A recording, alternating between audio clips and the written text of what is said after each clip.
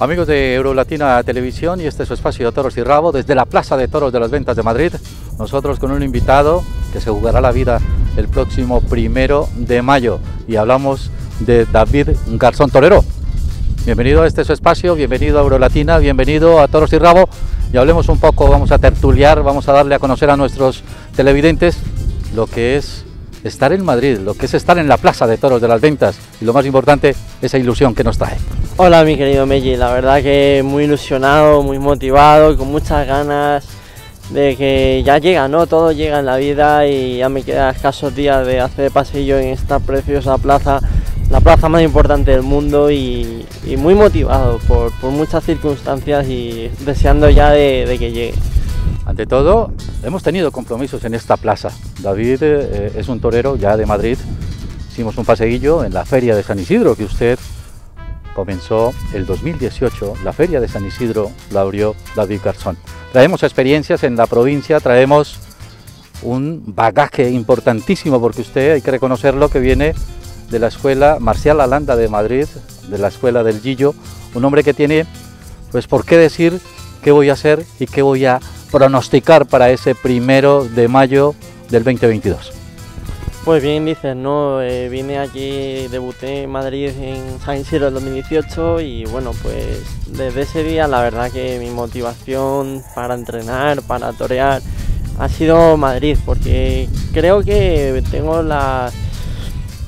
Sobre todo ahora mismo la madurez y las ganas y la actitud de, de, querer volver y demostrar lo que, lo que puedo llegar a ser, ¿no? Eso es lo que más deseo. David, eh, nos encontramos eh, nosotros eh, siempre teniendo la ilusión de esos eh, primeros momentos, de esos primeros lances de cuando usted debuta, eh, inclusive hablamos del Ecuador, cuando usted comienza a tener esos primeros lances, pero comienza a madurar, a tener esa gran ilusión en Madrid, especialmente en la Escuela Marcial Alanda. ¿Qué se le queda de esa ilusión de pasar por una escuela? Porque disfrutamos, especialmente en la Escuela Marcial Alanda. ¿Qué se le queda de esa ilusión de pasar por una escuela? Porque disfrutamos, lo acompañamos, vimos los triunfos, salimos por la puerta grande varias tardes, pero ¿de qué se nos queda con esa gran ilusión de que viene una tarde muy importante para su vida, aunque hay cosas que también nos lastiman? Ante eso y ante ese recordar, ¿qué podemos pensar? Bueno, la verdad que bien dice, la ilusión que tenía en la escuela era muy grande de, niño y cierto es que tuve una persona grandiosa a mi lado durante toda mi vida y durante mi, corta carrera, que era mi padre. Y cierto es que mi padre pues eh, me motivaba, me ilusionaba, eh, la persona que me hacía seguir y salir adelante, mi compañero, mi, mi, todo, ¿no? Y ahora que voy a realizar eh, uno de los sueños que, que además lo charlábamos y lo hablábamos a menudo, era volver a Madrid y, y ahora pues lo, lo, voy a conseguir, lo voy a... Vuelvo a Madrid, la pena que, bueno, vuelvo sin, sin él, ¿no? Pero, pero, pero nos está acompañando seguramente, pero también hablamos de esos maestros, de Joaquín Bernadó, de aquellos que nos acompañaron en la escuela. ¿A quién recuerda usted de ellos? Del maestro, el maestro Joaquín Bernadó, que también por una pena lo hemos perdido hace poco tiempo. Eh, lo recuerdo muchísimo, además eh, creo que puedo decir que fui su último alumno y a mí me, aparte de su cariño, su, su generosidad y sobre todo ser un maestro que te, te decía lo, la verdadera lo que es el toreo, ¿no? Y, es muy difícil que en el toreo te hablen tan claro y tan y con tanta pureza, porque creo que el toreo, tanto el toreo se juega la vida, torea y es muy de verdad delante del toro, y creo que en la vida en sí, esa verdad deberíamos de, de tenerla, y por desgracia en muchas circunstancias no, no la hay. Y el maestro, pues para mí fue el mejor que he podido tener. No... Hablamos de los príncipes del toreo porque recordamos, ¿no? Hablo de Lucio Santín, hablo de, de Miguel Maestro, de Manuel, Ma de, Julián Maestro, hablo de José Cubero el Lillo. Hablamos de una terna, ¿no? ¿Usted recuerda esa terna con la que usted jugaba a los toros en la escuela marcial? Sí, bueno, la verdad que ellos pues eran muy maestros, ya eran muy antiguos, ¿no? Y, sí, la verdad que he podido ver vídeos del maestro Gillo, eh, de Lucio Sandín igual, y, bueno, uno siempre debe de empaparse un poco de todos los toreros.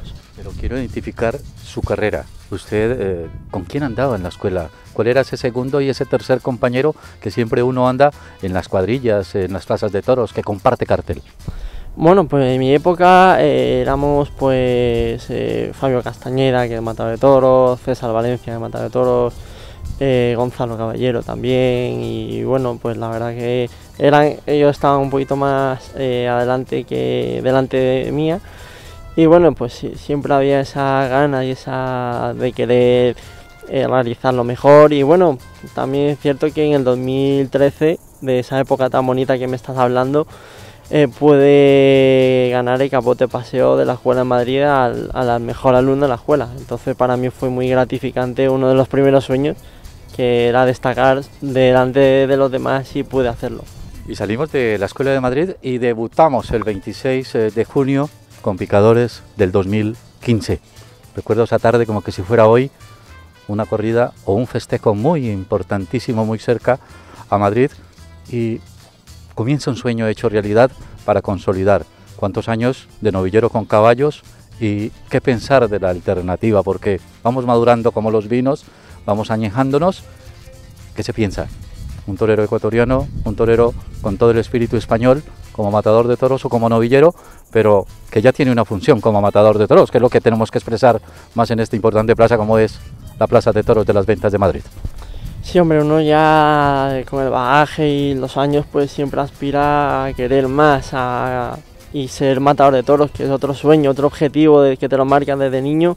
Es cierto es que debuté con caballos, además muy cerca aquí de Madrid y con una auténtica novillada que era muy fuerte.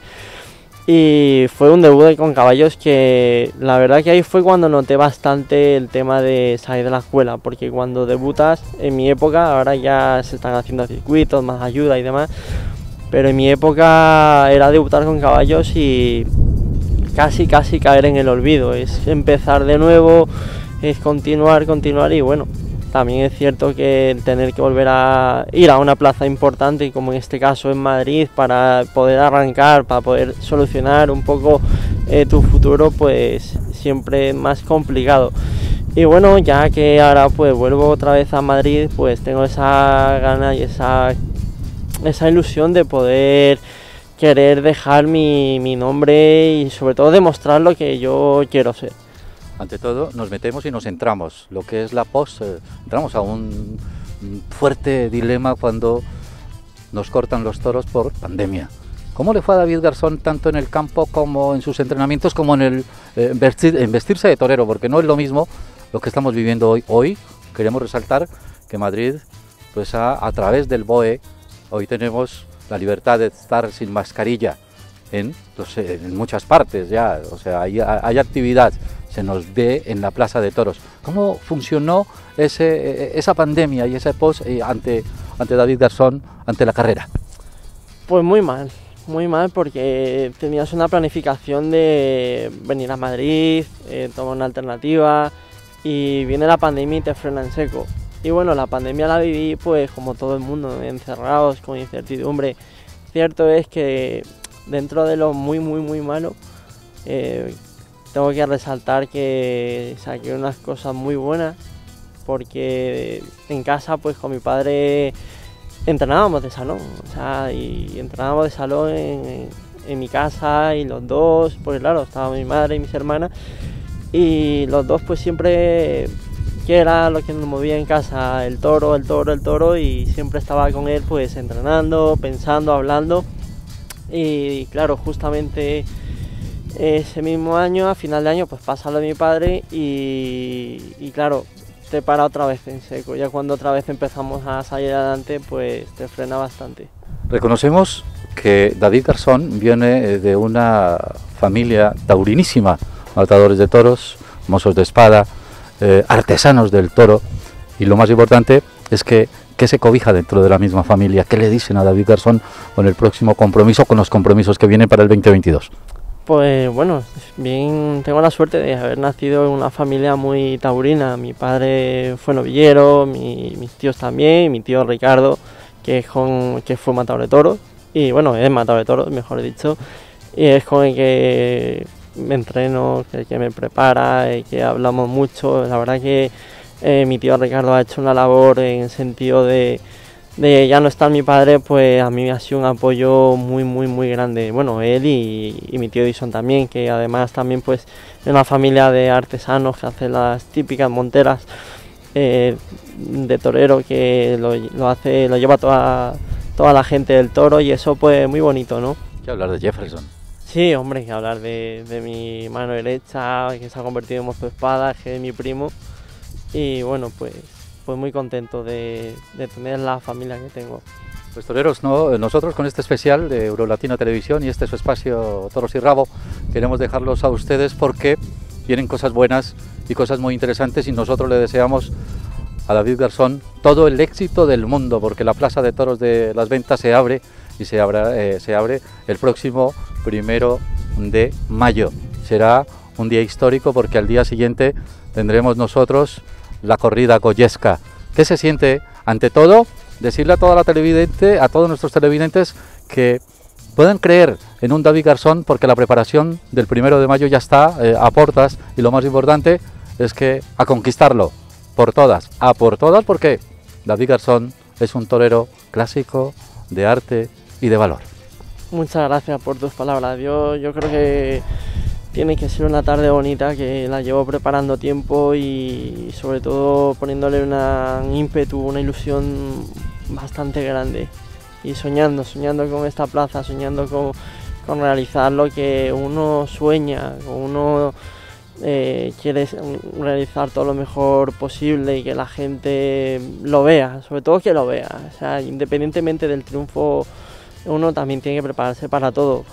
Eh, pero independientemente del triunfo, no, en mi caso llego a, sobre todo a querer hacer las cosas bien. Tolero, gracias. Eh, para ser agradecido en la vida hay que decir gracias de verdad y quisiera saludar a alguien a través de este canal, a través de Eurolatina, a través de este su espacio Toros y Rabo, porque hay que agradecer, pero usted tiene algo guardado y que se lo quiere agradecer en este momento con esta expresión. Sí, bueno, pues agradezco a la, gente que no me ha dejado, ¿no? A, mi familia, a mi madre, a mis hermanas, a gente que tengo a mi lado muy importante, a mi apoderado que lucha día a día conmigo y a vosotros, ¿no? A ti, Meji, por, y a Lisette, a Mario, a todos que se han volcado conmigo, que es muy, muy bonito. Y de nuevo, yo siempre he aprendido a ser agradecido y de, verdad que os agradezco de corazón y siempre lo voy a llevar conmigo todo, todo lo que habéis hecho por mí. Gracias a todos ustedes por seguir eh, esta buena nota de Toros y Rabo eh, de Eurolatina Televisión porque seguiremos los pasos de esta joven promesa que es David Garzón. Amigos oyentes, amigos televidentes, amigos eh, del mundo, amigos del mundo del toro, amigos de las ocho naciones, seguimos nosotros en otra historia inolvidable con este su espacio Toros y Rabo. Hasta una próxima oportunidad. Sabemos que dejar ir las cosas no siempre es tan fácil. No es lo que cuesta, es lo que vale para ti. Y mientras decides, puedes guardarlas en Trasteros Madrid. Contamos con más de 500 trasteros y mini almacenes de máxima calidad para que tengas a mano lo que no necesitas ahora. Y puedes alquilarlo o comprarlo. Tú decides sea la modalidad que quieras, es 100% una inversión segura. Mereces más espacio y ya no es un lujo conseguirlo. Es tiempo de reorganizar lo que tienes y sentirte libre. Trasteros Madrid, el espacio que necesitas.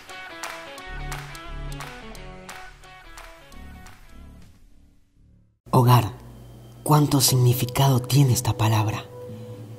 No se trata de puertas y ventanas, ni del color de la pared. Se trata del lugar donde echarás raíces y vivirás por años. Tu casa, tu hogar, tu vida. En Inmobiliaria Red Budisa afinamos cada detalle para que tu próxima vivienda sea también tu nuevo hogar.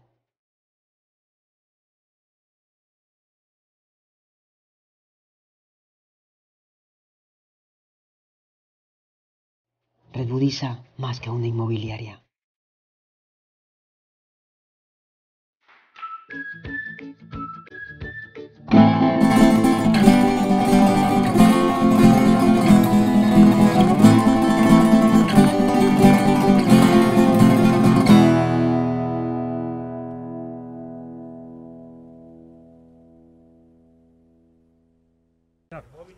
Eurolatina Televisión y este es su espacio Toros y Rabo en las ventas del Batán con un protagonista, el matador Sánchez Vara, que tendrá un duelo de titanes el próximo domingo en la Plaza de Toros de las Ventas. Matador, bienvenido a Eurolatina, bienvenido a este su espacio Toros y Rabo y lo más importante, hablemos del compromiso. Bueno, pues muchas gracias y nada, encantado de, de atenderos, claro. Y lo más importante, eh, ya estamos a puertas de llegar allí. Eh, hábleme de esos toros de Saltillo, de los maños y ante todo el cartel. Bueno, pues dos ganaderías muy del gusto de la afición de Madrid y el cartel creo que también. Un cartel eh, internacional, ¿no? Y bueno, pues espero dejar a España eh, eh, con el listón alto. Ante todo, un buen comienzo de temporada. Hemos estado en diferentes plazas. Sí. Un número de orejas, un número de puertas grandes. ¿Qué significa eso? Comenzar un 2022 y ya, pues a fines de la pandemia, entra una normalidad y lo importante, esa sensación para el torero, para la afición y ante todo, para ese buen resultado. Bueno, ha sido dos corridas de toros eh, previas a Madrid, la verdad que ha salido las cosas muy bien.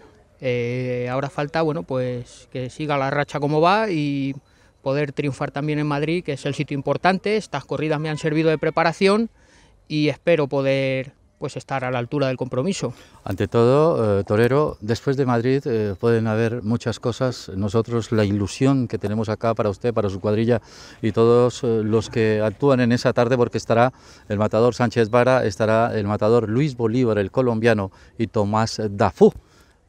¿Qué se, qué se espera? ¿Una puerta grande? Aparte de eso, ¿una buena temporada 2022? Claro, vamos a ver, es una fecha muy buena porque es el mes de abril, entonces queda mucho por delante.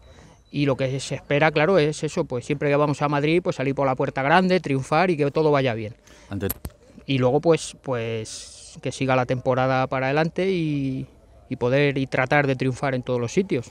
Le decimos a Eurolatina Televisión, le decimos a nuestro espacio Toros y Rabo que llega a las ocho naciones, pero lo más importante es que vamos a estar en Perú, vamos a estar en otras Sí. latitudes, en otras partes, para que ellos también le esperen y, y esperen al matador Sánchez Vara. Pues sí, voy a hacer temporada en Perú también este año, no sé las corridas que voy a torear, pero igual que creo que alrededor de unas 15 o por ahí, igual que otros años, unas poquitas menos a lo mejor, pero sí que voy a estar, claro, es un sitio que me tratan fenomenal y, y siempre me han dado mucho sitio y, y este año pues voy a estar allí. Nosotros desde la Escuela Marcial Alanda del Batán, en especial en este su espacio de Eurolatina Televisión y este programa Toros y Rabo, Matador Sánchez Vara, mucha suerte para el próximo domingo en ese paseillo, igual que a su cuadrilla, los mejores éxitos y será que nosotros le acompañaremos esa tarde Venga. en tan importante. Muchas gracias y un abrazo a todos. Un abrazo para todos ustedes y gracias por estar en la mejor compañía.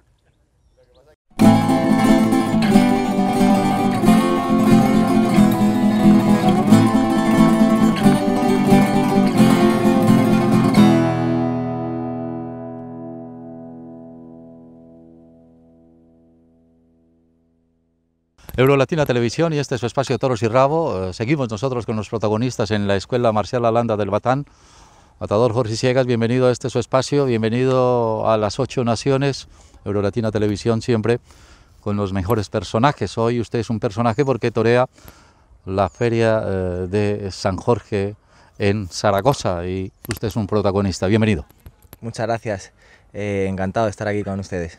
Hablemos un poco de lo que es ese compromiso para todas esas ocho naciones, para Eurolatina, para nuestros televidentes y lo más importante, pues eh, esos toros. Bueno, pues La para ganadería. me hace mucha ilusión eh, torear en, en mi tierra, en Zaragoza. Es una tarde muy importante para mí, puesto que, que es el único compromiso que de- tengo cerrado hasta la fecha y con muchas ganas de volver a, a mi tierra después de la alternativa. Eh, muy responsabilizado, muy ilusionado y, y con ganas de dar una, una buena imagen y de que se vea este crecimiento durante estos dos o tres años, en los que no he podido torear mucho por, por todos los factores también que, que nos han acontecido. y ojalá rueden las cosas y podamos disfrutar de y hacer disfrutar ¿no? a, la afición de mi tierra de una tarde bonita de toros. ¿Le gusta la ganadería? Sí, la verdad que, que la ganadería Castillejo de Huebra en Castemurube eh, pues es una ganadería que está en muy buen momento, que los ganaderos eh, están trabajando mucho a diario con la ganadería y la están llevando a un punto muy bueno y creo que si Dios quiere pueden vestir algún toro y darnos opciones para el triunfo. Ante todo, usted viene de ser triunfador. En la última presentación que estuvo en Zaragoza, pues dio eh, un salto, un listón muy alto, más bien, eh, en su comparecencia. Cortó las orejas.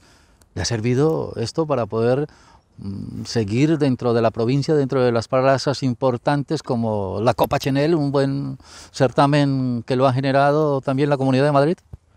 Bueno, eh, es cierto que el día de mi alternativa salieron bien las cosas, corté una oreja al toro de alternativa y, bueno, eh, pues en estos años creo que toreado cuatro corridas de toros, dos de ellas en la Copa Chenel, que también ha sido para mí un escaparate muy importante, eh, en el que creo que salí reforzado y al ser televisado pues me, me vino muy bien otra vez para, para, estar en boca a lo mejor de los aficionados, ¿no?